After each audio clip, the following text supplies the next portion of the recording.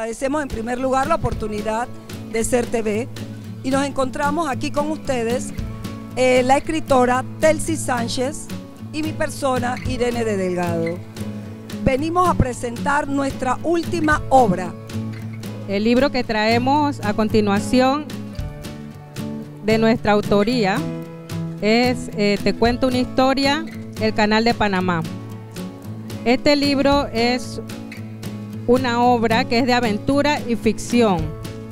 Trata eh, sobre tres niños que usan su imaginación para trasladarse al pasado y están en, los acontecimientos que, que son los antecedentes a la construcción del canal. Lo que quisimos alcanzar al elaborar este, esta obra infantil y juvenil es que el estudiante aprenda sobre temas históricos de Panamá y uno de, los más importantes, que es el del Canal de Panamá, por ser uno de nuestros principales recursos.